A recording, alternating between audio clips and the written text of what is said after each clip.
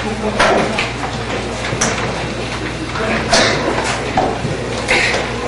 い。じゃあやりましょう逆関数を求めろっていう時は、まあ、定石があってその理由とかはもう前回の授業でしたからもうやり方だけ言うんですけれどもまず y イコール sin2x 足す1と置くこれを x について解けばいいわけね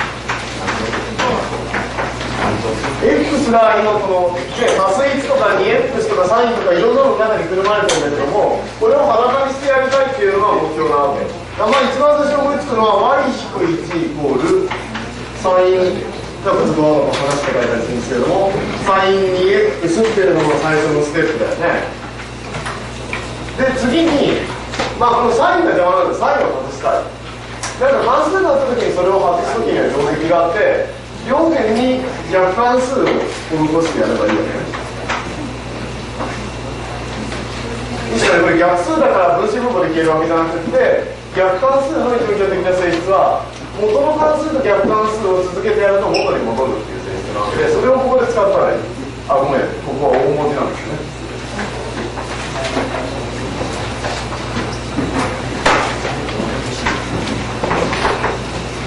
いいか？みんな思い出してきましたね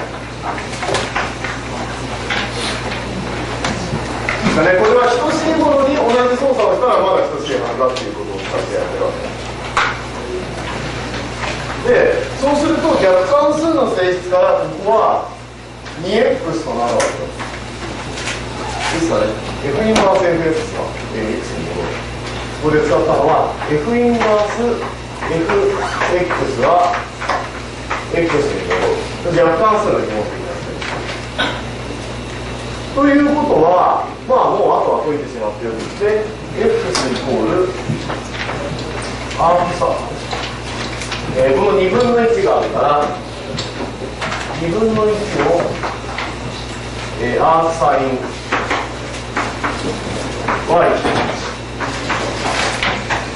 まあ、定義としてだけど fx を求めなさいと言われてるの f インバース x を求めなさいと言われてるのでよって f インバース x イコール10分の 1r サイン x 引く1 x で答えろって言われてるから y で書いてあるのを x に置き換えて答えるんですね。それで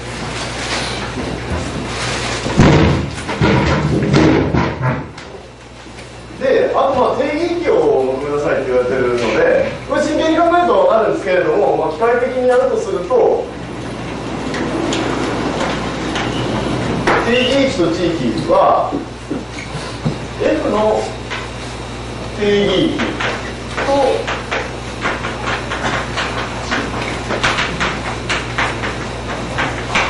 F の地域が分かってたらそれが F インバースのやつについては入れ替わるっていうのが、F と F インバースの定義域地域の関係だったでF の定義域はここに書いてあって4分の π から4マイナス4分の π から4分の π、えー、だからここのところは4分の π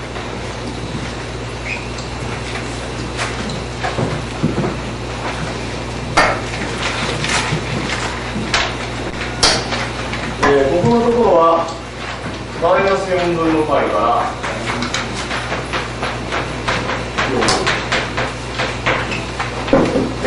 だからこれとこれが同じになって F インバースの地域はまあそうだっていうことが分かるんですね。っていうかまあ本当はねちょっと微妙なこともあるんですけれども、えー、そうで問題は F インバースの定義域を求めなさいっていうんだから F の地域が分かっていればいいわけで、えー、地域が分かるけどグラフが書ければ書けるわけですよ。でグラフを書こうと思ったら1回目にやったあの関数のグラフの平行移動とか拡大縮小を使ってやればいいわけね。これはまず X 方向に2分の1倍してその後 Y 方向にプラス1サインを平行移動したグラフだからこれはこういうグラフになります F のグラフというのは、えー、ここら辺が4分の π っての1よりちょっと小さいからプラス1あそうか。に1とすると4分の π ってのは1より小さいからこのくらい。になってえっとサイン X のグラフというのは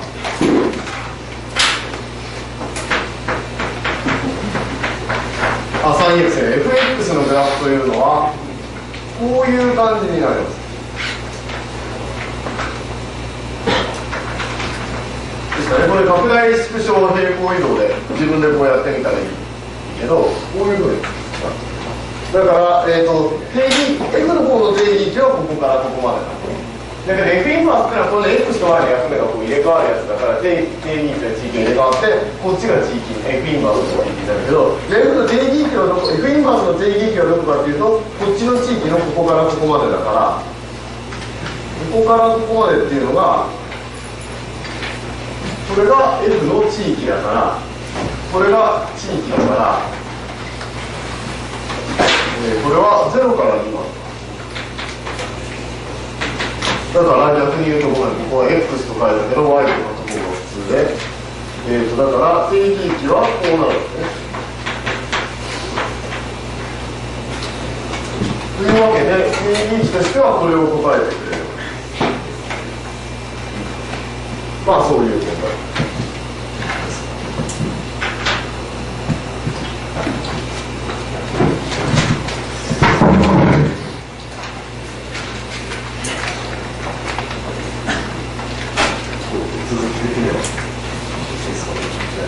多少まあ気をつけるというところもありますよね。あの元に戻ればでも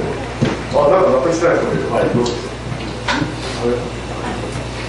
え言っていいんですよしてない。前回最初からやってる説明でその場で答えますえー、っとじゃあまた今日は新しいことに行くわけで。でもまあ今見て分かったと思ったんだけどさまあこれは終わりねって言うけど後から使うわけだよね。今もその拡大縮小とかさ平行移動とか使ってたんですよだからあの一回過ぎたことは忘れていいわけではないんで、まあ、半年間の記憶をどんどん増やしていかないといけないですね。